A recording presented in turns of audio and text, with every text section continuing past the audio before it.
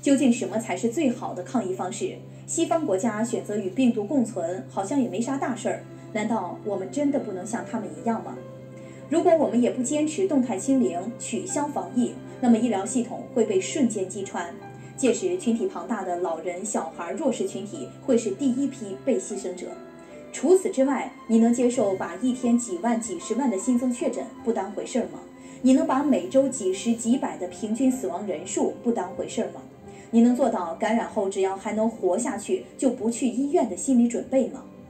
无法接受，因为在中国人心中一个都不能少，是刻在骨子里无法改变的。我们的防控理念是人民至上，生命至上。抗疫的确是一件很煎熬的事，但正是国家的坚持，才给我们换来了健康和安全。坚持住吧，疫情。终将结束，愿你平安健康，无灾无难。